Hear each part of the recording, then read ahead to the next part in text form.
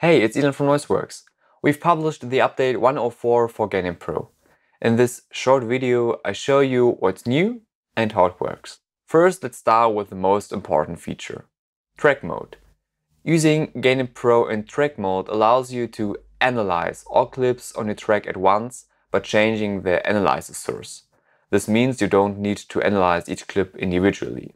But if you prefer, you can still do so by changing the source to clip.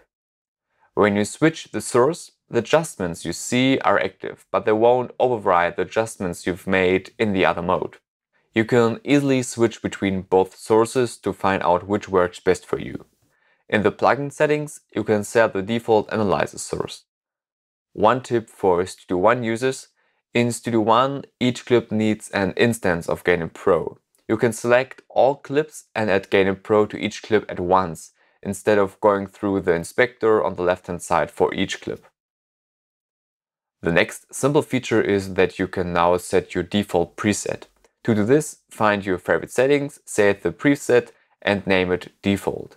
When you open Gain Pro again, this preset will be loaded. These were the most important updates in Gain Pro. If you have any questions, leave a comment. Happy mixing!